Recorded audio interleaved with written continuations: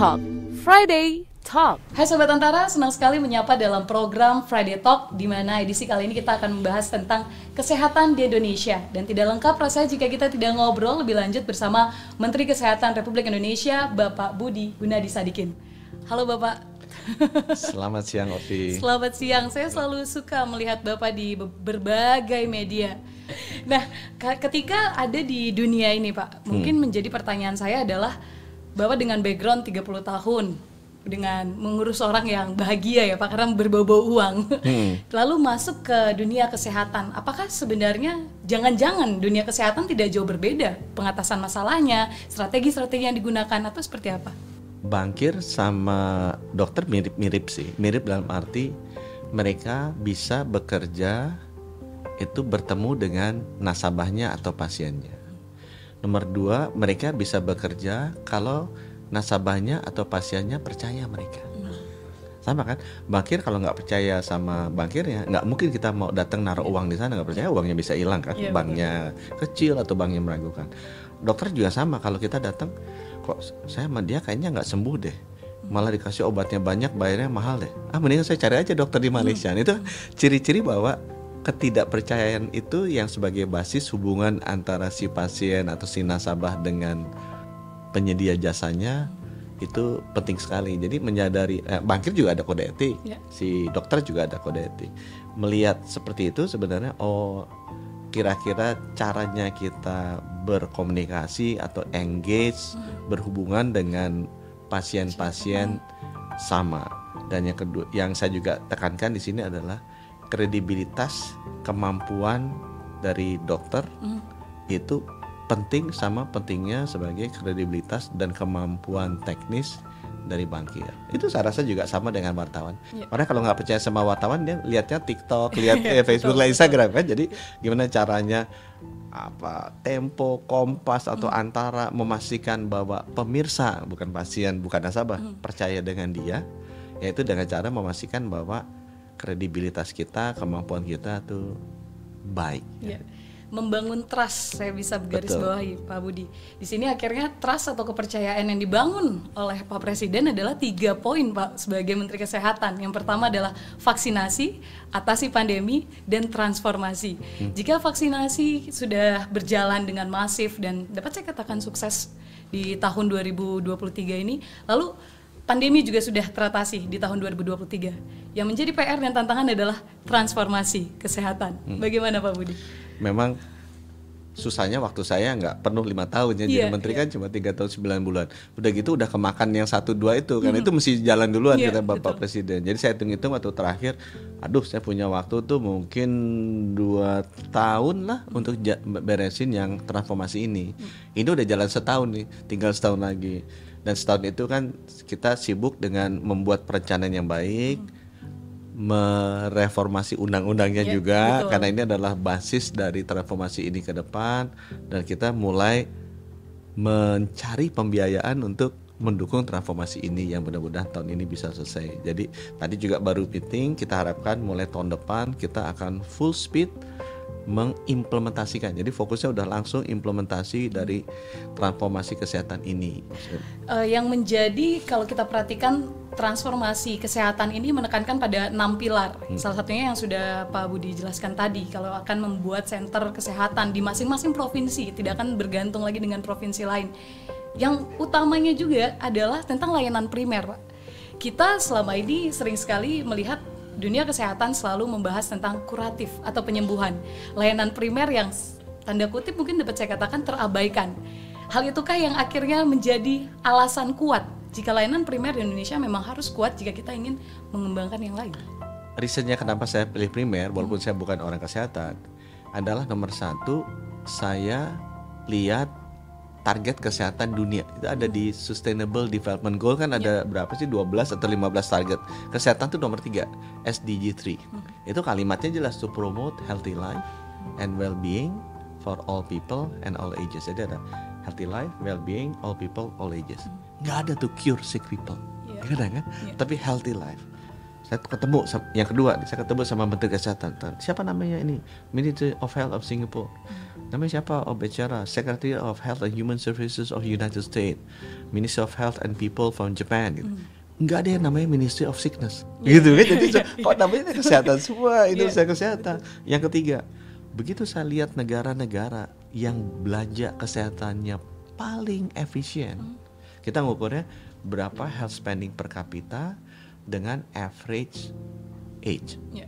jadi kalau Indonesia spendingnya 140 dolar per tahun rata-rata sekarang hmm. dia capai 72 tahun Hmm. Amerika 11.000 dolar per tahun dapat 80 tahun. Kuba sama 80 tahun tapi cuma 1.900. Eh, Lebih efisien Kuba kan? Iya. Atau dibandingin sama Singapura 84 tahun. Paling efisien Singapura, Jepang aja kalah 84 tahun lebih tinggi dari Amerika kan? Jepang sama 84 tahun, Amerika 80.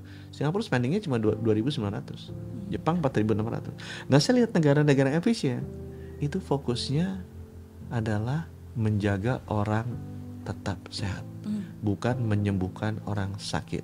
Fokusnya di promotif dan preventif, bukan di kuratif. Fokusnya di hulu, bukan di Hilir. hilir. Jadi kalau kita bisa jaga populasi kita tetap sehat, kalau bisa idealnya rumah sakit kosong. Nah itu adalah strategi kesehatan paling baik. Dan gimana jaga tetap sehat? Harus fokus di primer. Ini akhirnya juga menjadi bonus untuk Indonesia jika kita membahas tentang layanan primer yang harus diutamakan terkait dengan bonus demografi di tahun 2030. Jika kita atau masyarakat kita sehat, maka dampaknya akan kita rasakan 2030. Benar begitu, Pak? The bonus demografi ini. Saya sebenarnya bonus demografi itu ada kaitannya dengan mimpi Bapak Presiden Pak Jokowi untuk menjadi negara maju di 2045. Sebenarnya negara maju itu jelas kriterianya. Ya. ya. Pendapatan per kapitanya harus di atas 13.000 US dollar per tahun. Kita Indonesia sekarang 4.700 per Iya, tahun. Jadi mesti naik tiga kali lipat kan? Itu itu susah karena dolar. Dikaitin ke rupiah lah. Kita pendapatannya harus di atas 15 juta per bulan rata-rata. Eh, sekarang kita 5 juta per bulan. Jadi tangan tanya aja di atas 15 juta apa enggak? 15 juta apa enggak? 15 Iya, juta apa enggak? iya, iya. Kalau dari 10 orang ditanya ternyata 8 orang masih di bawah 15 juta, ah kita belum negara maju tuh. Iya. Kalau Pak saya 20 juta Pak, saya 30 juta, saya 50 juta, 60 juta, ah kita udah negara maju. Nah sekarang naikinnya gimana tuh? Di setiap sejarah bangsa-bangsa di dunia tuh, angka itu bisa di cross pada saat puncak bonus demografi. Kenapa? Karena itu orang-orang yang produktif yang bisa kerja dapat gaji kan paling banyak. Jadi kalau dibagi itu pembilangnya paling banyak tuh income ya kan apa GDP per kapita adalah total income dibagi total penduduk. Kalau total income-nya paling banyak jadi beda kan 100 juta penduduk yang bisa menghasilkan income sama 200 juta penduduk yang bisa menghasilkan income ini pasti lebih gede kan. Nah, itu terjadi pada saat bonus demografi. Yang terjadi puncaknya kita 2030 Iya. kalau itu lewat kemungkinan kita untuk lagi. lewat tuh makin kecil. Bukan bukan bukan Bukan le- bukan malah. nggak ada puncak demografi cuma sekali. Karena orang kan makin lama makin hidup sehat. Habis gitu saya nih tahun depan umur 60 itu udah makin banyak orang kayak saya yang tidak menghasilkan income harus ditanggung oleh teman-teman yang masih muda-muda. Jadi kalau 2030 itu lewat itu kemungkinan kita untuk menjadi negara maju makin kecil, makin susah. Itu yang namanya middle income trap. Jadi kita akan trap forever di negara middle income. Jadi kita dosa ke anak kita, ke cucu kita, mereka tidak bisa hidup di negara maju, bisanya hidup di negara berpenghasilan menengah. Jadi nggak boleh lewat nih 2030, nggak boleh lewat orang yang apa yang mesti 2030 nih hidup nih Ya. itu harus sehat dan pinter. Kalau dia nggak sehat dan pinter, nggak mungkin 15 juta.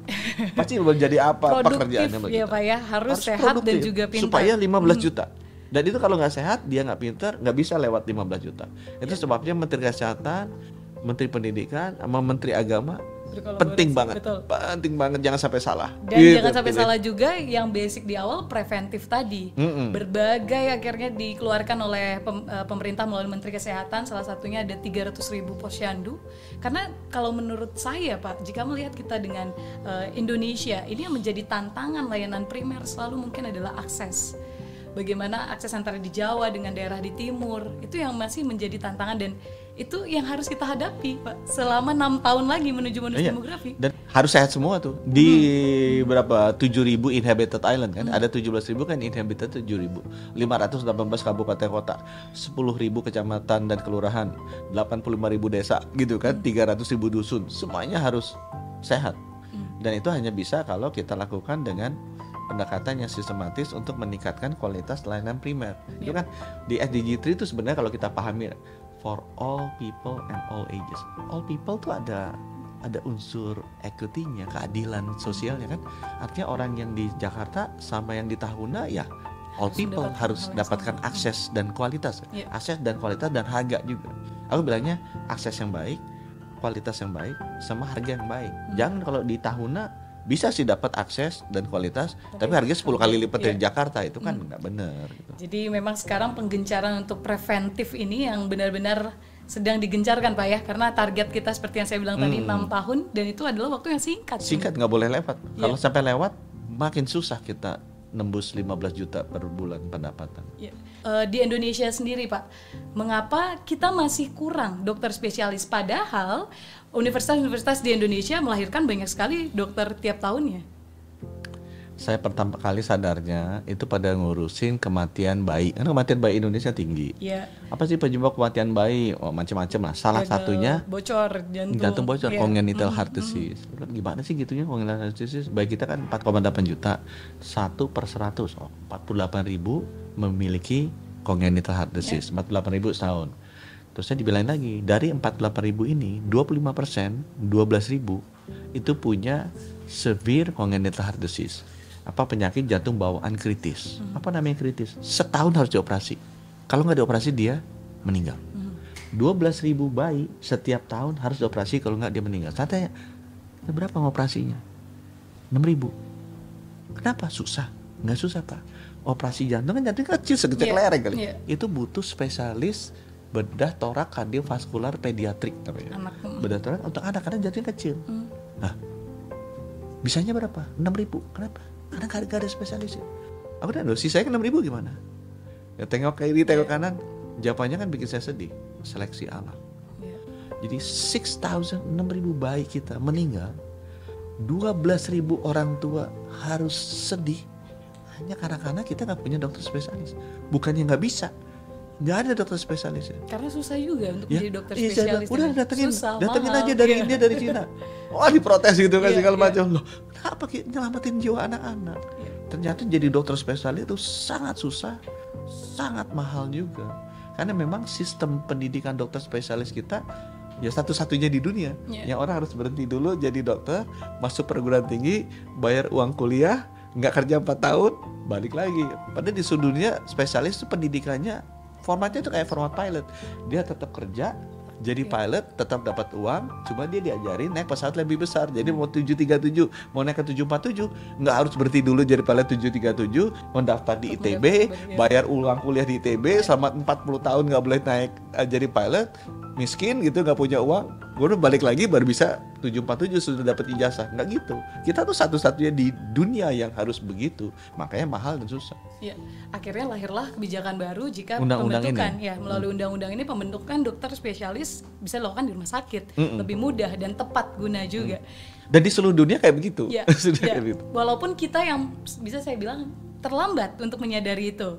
Berarti bisa saya katakan seperti itu. Pak? Ya mungkin salah satunya itu bahasa diplomatiknya Iya. gitu lah terlambat lah gitu. Membahas teknologi ini juga terkait di tahun 2023 ini dengan ada kerjasama untuk peningkatan data. Ini kan data juga masih menjadi masalah, khususnya data kemarin kalau kita compare di ketika pandemi COVID-19, data vaksinasi Waduh. itu kan akan menjadi PR juga. Akhirnya ada kerjasama dengan eh, Elon Musk di sini. Walaupun ini juga harus lintas sektor pemerintahan, tidak hanya Menteri Kesehatan tapi eh, Kominfo juga. Sejauh ini seperti apa, Pak? Perkembangan? Jadi saya udah bikin aturan di Agustus 2022. Di akhir 2023 3.200 rumah sakit, 10.000 puskesmas, 15.000 klinik swasta, 12.000 ini apa? eh, 12.000 toko obat apa ya, apotik.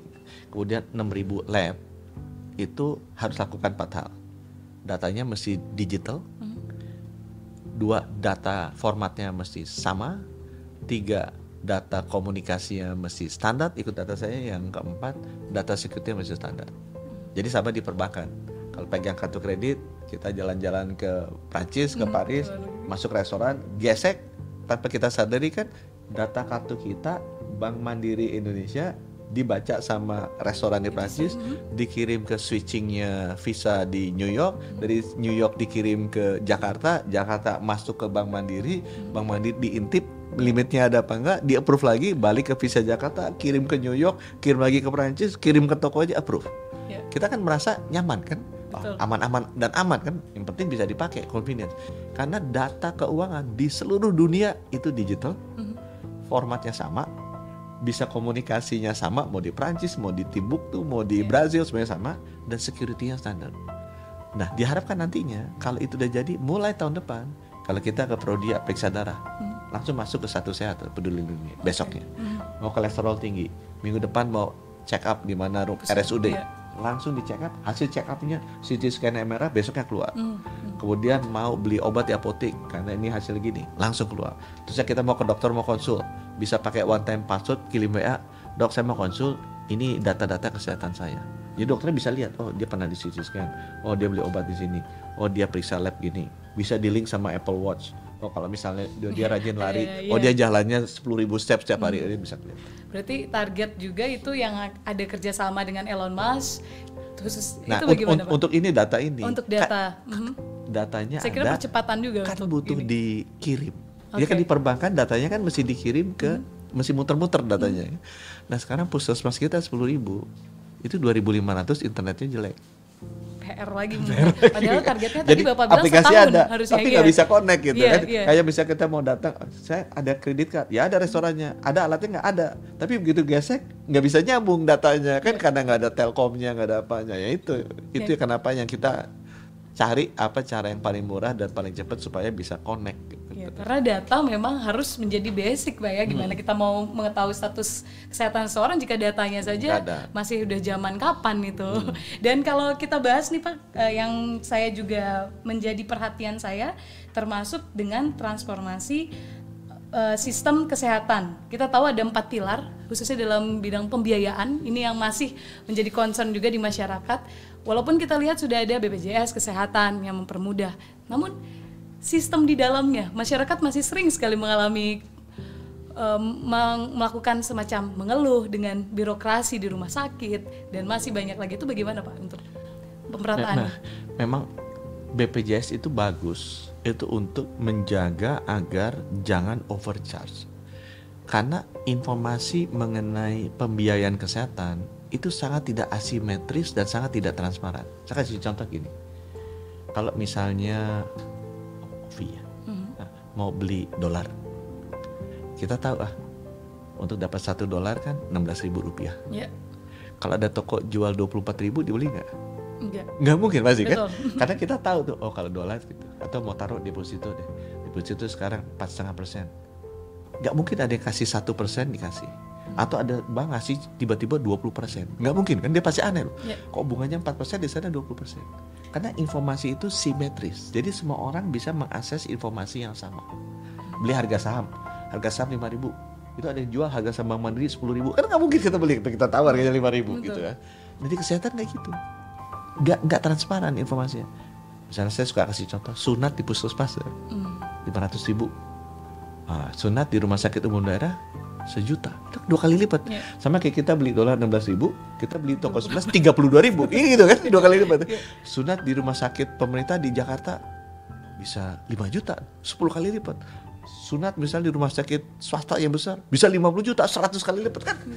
Itu hanya bisa terjadi di sektor kesehatan. Gimana kalau beli kurs 16 ribu di kurs yang lain satu setengah 1,6 juta masih dibeli sama orang. Karena orang nggak sadar bahwa ada kurs ada uang dolar yang harganya 16 ribu nah itu terjadi di sektor kesehatan Di dunia Nah, ini perlunya kita digitalisasi dan memasyarakat informasi. Kita mesti regulate supaya orang tahu ini sama kita beli obat. Di Malaysia itu bisa seperlima di Indonesia, sepertiga di Indonesia. Itu kan beda 100%, 200%.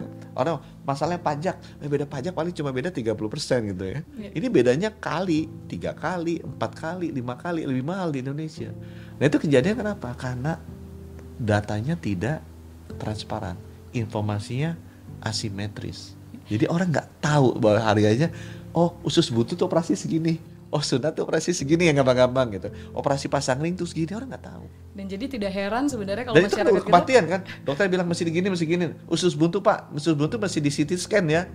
Ya orang kalau udah nggak Iya. ngerti kan ya iyain aja kan. Karena nurut. asimetris Betul. informasinya. ketidaktransparan itu akhirnya yang membuat masyarakat lari ke pengobatan yang seperti kita tahu yang tidak ada standarnya. Mm-mm. Tapi di sini yang menariknya pengobatan tradisional, Pak, ini masuk dalam undang-undang. Mungkin boleh Pak sedikit dibahas. Ini kan pengobatan ini eh, co- contohnya gini deh. Kanker dulu kanker Iya. tuh biasa dibedah, diambil tumornya. Masih ada sisanya. Teknologi ber- berkembang.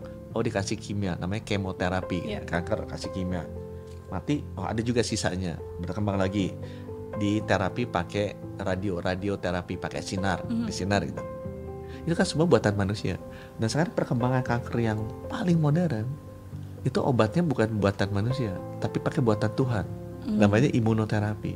Jadi sekarang cancer-cancer dilihat, oh ini sel cancer kan sel yang berubah dari teman jadi musuh kan sel Iya, kita. betul. Semua sel yang masuk di tubuh kita ini secara teori imun system ya. Saya belajar waktu vaksin. Itu pasti darah putih kita bukan darah putih lah. Imun sistem kita ada B cell, T cell. Tahu ini musuh, diserang tuh. Ini kan bikinan Tuhan Betul. efektif sekali. Dia tahu oh, ini musuh nih, serang, mati, nggak bisa nyebar. Kenapa cancer kok bisa menyebar? Karena dia tadinya teman, dia bermutasi jadi musuh, jadi friend to foe. Dia nggak bisa deteksi nih si Serang. tentaranya Tuhan. Ah, dia temen lah. Padahal udah udah cancer, dia nyebar ke mana-mana karena nggak diserang. Nah sekarang banyak peneliti-peneliti di Cina, di Amerika udah geser obat itu udah pakai tentara Tuhan aja deh. Kita didik dia, dia udah rubah jadi musuh nih. Kenapa itu perubahannya di situ? Habis dia tahu, dan nyerangnya gimana? Dan sekarang perkembangan dunia untuk pengobatan itu lebih baik balik kembali memanfaatkan apa yang ada di di di alam. Nah itu yang banyak negara-negara maju geser ke sana karena pemahaman kita mengenai tubuh manusia itu makin lama makin bagus dengan ada perkembangan bioteknologi ya. Jadi kita tahu oh ini perubahan terjadi ini, jadi ngobatinnya mesti gini. Kan kesehatan tuh hanya meriksa dan ngobati. Meriksa dulu jantung pakai stetoskop, naik lagi pakai EKG, naik lagi pakai CT scan, naik lagi pakai apa. Ya itu teknologi pengobatan berkembang eh, meriksa berkembang, teknologi pengobatannya juga berkembang dan perkembangannya sekarang kembali ke apa ya, pengetahuan yang selama ini kita belum ketahui yang sudah diberikan oleh Tuhan. Dan turun temurun. Dan itu orang-orang yang dulu begitu kan orang dulu kalau kasih obat kan meracik kan. Betul. Kalau zaman nggak ada dokter Nah, dengan ada- dia kan ambil dari tumbuhan-tumbuhan tumbuhan meracik. Saya kemarin baru tahu yang namanya penicillin itu asalnya dari tumbuhan. loh. Yang namanya misalnya obat eh, metformin untuk diabetes itu asalnya dari tumbuhan. Jadi orang lihat orang kalau kasih tumbuhan ini kok sembuh. Mhm. Dianalisa sama perusahaan farmasi. Oh, ada isolat senyawa dari seribu senyawa tumbuhan ini senyawa ini bisa nurunin darah tinggi. Ini disintesa secara kimia. Tapi asalnya dari alam. Kemudian misalnya penicillin itu juga dari tumbuhan. Iya. Oh, kok dikasih ini kok sembuh infeksinya? Dilihat, oh dianalisa, oh dari 2000 senyawa tumbuhan ini, ini ada satu senyawa isolat yang bisa nyembuhin infeksi. Hmm. Itu dibikin. Nah, sebenarnya teori itu udah diketahui dari zaman dulu. Cuma pakai feeling kan. Oh, kalau ini jamunya dicampur ini kuku Dosisnya kuku- ada kuku, ya, kuku Pak, ya? apa kuku beruang campur daun ini daun ini ditumbuk-tumbuk atur. Dan dulu kan udah diatur. Sekarang kita baru sadar bahwa orang Asia, orang Afrika, orang Amerika itu beda-beda genetiknya. Jadi beda misalnya obat darah tinggi Ovi Oh, sama saya beda. Hmm, Kenapa kita sukunya beda? Sehingga itu sebabnya kenapa dulu diracik kan, Iya, tergantung iya. dari orangnya. Kebutuhan. Jadi sebenarnya orang-orang dulu tuh udah punya wisdomnya, cuma nggak bisa menjalankan secara ilmiah. Nah sekarang dengan bioteknologi kita tahu benar-benar penyakit itu sebabnya apa, dia orang apa, genetiknya seperti apa. Jadi kita ngobatinnya yang cocok buat dia tuh ini. Diracik satu-satu. Namanya precision medicine. Itu adalah ilmu baru di bidang kesehatan. Itu berasal dari alam dan itu sangat spesifik ke manusianya, individunya. Pak Budi. Secara saintifik. Pak Budi, saya sebenarnya ingin banyak sekali membahas tentang transformasi eh, sektor kesehatan. Namun kita tahu jika waktu juga dengan kesibukan Pak Budi kita tidak bisa membahas lagi. Tapi nanti saya harapkan akan ada episode-episode selanjutnya ya Pak Budi untuk obrolan ini. Pak Budi mungkin karena Pak Budi sendiri adalah backgroundnya di perbankan otomatis sudah biasa dengan angka. Saya mengasumsikan Pak Budi seandainya dengan semua dukungan masyarakat, pemerintah, transformasi kesehatan ini kita berjalan dengan mulus, butuh berapa tahun di Indonesia untuk benar-benar firm di dunia kesehatan? Saya orang fisika. Fisika itu ada teori relativitas Einstein namanya. itu pa- paling gampang gini sih, ada kembar lahir di bumi. Satu pergi ke Pluto, kecepatan saya balik. Ternyata yang balik datang ketemu kembarannya dia lebih muda, 20 tahun. Jadi artinya apa? Artinya waktu itu relatif. Jadi teman-teman ada yang bilang, Pak ini butuh lima tahun. Lah aku satu tahun lagi pensiun, bikin satu tahun deh. Gitu kan. Jadi kalau ditanya, maunya itu ini reformasi yang kapan selesai? Kalau saya tanya, maunya tahun lalu selesainya, gitu kan. Gimana bisa? Loh, ta- time relatif bisa mundur kok kata Einstein juga. Jadi kalau aku bilang ke teman, udah lakukan secepat-cepatnya, karena kita nggak akan tahu kalau kita lakukan itu dengan cepat. Ternyata banyak juga yang kita bisa beresin. Jadi kalau aku ditanya teman-teman, kapan? Kapan mau selesai pak? Besok. Gitu kan kira-kira aja. Susah juga saya ngobrol sama orang fisika. ya, fisika? Pak besok dengan cuma waktu. 24 jam Kata kamu 24 jam Kalau kamu kerjanya terus nggak pakai tidur Ajak 10 orang bisa jadi 100 jam Gitu kan artinya. ya begitulah sobat antara jika kita membahas dengan background fisika pak Iya. jadi saya dibalikin lagi Iya. karena waktu itu relatif Waktu itu relatif tapi dengan kerjasama kita yakin akan dalam waktu singkat sistem kesehatan di Indonesia bisa lebih baik dari sebelumnya. Pak Budi sebagai penutup harapan untuk masyarakat di luar sana tentang reformasi sistem kesehatan? Kita ingin jadi negara maju. Pak Jokowi, Pak Presiden pengen Indonesia jadi neg- negara maju di tahun 2045 Itu hanya bisa terjadi kalau pendapatan per kapita kita di atas 15 juta per bulan. Dan momentumnya paling besar pada saat puncak bonus demografi tahun 2030. Waktunya tinggal tujuh tahun lagi.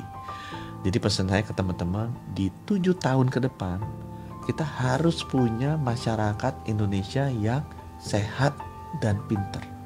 Supaya supaya penghasilannya 15 juta sebulan, supaya kita bisa masuk negara maju. Kalau kita nggak ber- bisa berhasil, kita dosa ke anak cucu kita, ke cucu dari cucu kita, karena mereka seumur hidup akan hidup di middle income trap negara berkembang. Nah untuk itu supaya bisa sehat, karena pintarnya urusan Pak Nadiem, ya, supaya sehat, jangan sampai sakit, ya. jaga kesehatan, jangan masuk rumah sakit. Kalau bisa jangan ketemu dokter. Dengan cara apa? Jaga makan dan aktivitas fisik yang baik. Kalau kita lifestyle kita dijaga, gaya hidup kita dijaga dan gaya hidup sehat, makannya dijaga, kita jangan apa harus rajin berolahraga, rajin juga screening deteksi dini, insya Allah kita akan sehat. Saat itu penting supaya pendapatan masyarakat tinggi. Kalau pendapatan tinggi, kita akan jadi negara maju. Terima kasih Pak Budi. Sehat itu penting yang bisa saya ambil. Jadi sobat antara, sehat itu selain mahal, sehat itu sangat penting. Bagaimana kita bisa mewujudkan bonus demografi di tahun 2030 ini waktu yang singkat dan butuh kolaborasi kita semua. Semoga obrolan ini bisa memberikan kita insight serta pemahaman baru dan sampai jumpa di episode menarik lainnya di podcast Antara.